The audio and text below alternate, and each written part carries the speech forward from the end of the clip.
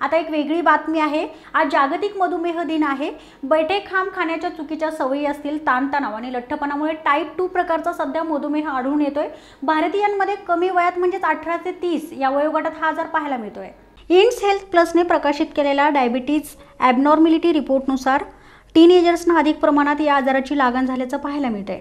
September दोन हजार सतरा ते ऑगस्ट दोन हजार अठरापर्यंतच्या निरीक्षणातून हा अहवाल तयार करण्यात आला आहे त्यानुसार महाराष्ट्रात एकोणतीस टक्के लोकांचे रक्तातील साखरेचं प्रमाण सामान्य पातळींपेक्षा जास्त असल्याचं आढळून आलं आहे सर्व वयोगटातील व्यक्तींना होणारा मधुमेह हा नॉन कम्युनिकेबल डिसिसेस म्हणजेच अलक्षणिक आजारमधील सर्वात चिंताजनक व्याधींपैकी एक आहे.